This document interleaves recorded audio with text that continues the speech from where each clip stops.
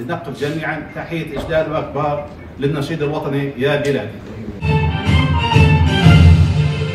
يا بلاد أود أن أشكرهم على مشاركتهم معنا في أعمال هذه الورشة. وتعاون منذ بداية سنة 22 وضعت الهيئة العامة للمعلومات الخطة التنفيذية لها وهي وضع حزمة من ال- السياسات والقوانين المزمع تطويرها داخل الدولة الليبية وهي ما كان منها وهو قانون النظام الوطني للمعلومات.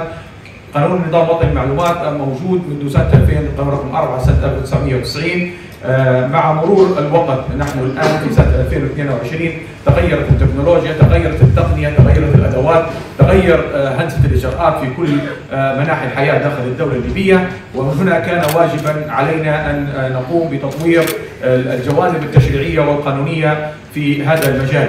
آه، كثير من المعوقات وأنتم الآن موجودون هنا مهتمون بقطاع البيانات والمعلومات ونظم المعلومات والتحول الرقمي. هناك ك- مشكلة كبيرة جدا تواجهها داخل الدولة الليبية وهو عادة الجانب التشريعي والجانب القانوني.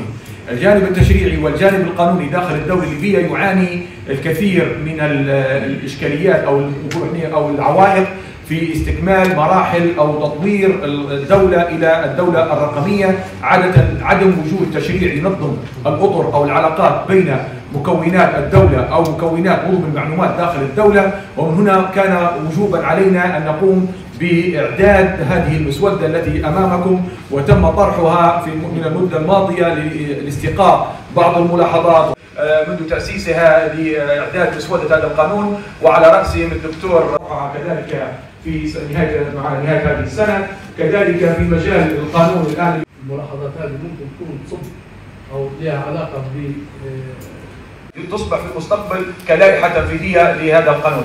آه، شاكرا لكم حضوركم. نقوم نحن آه، بصياغة ال- بالصياغه النهائية لهذا القانون اللجنه عملت على اعداد مشروع مسمى قانون من خلال اطلاع سواء كان على صفحه التواصل الاجتماعي الخاصه بها كان هناك التعديلات اللي هي الملاحظات الجوهريه سيتم الاخذ بها حقيقة اليوم إحنا الهيئة العامة للمعلومات تعد ورشة.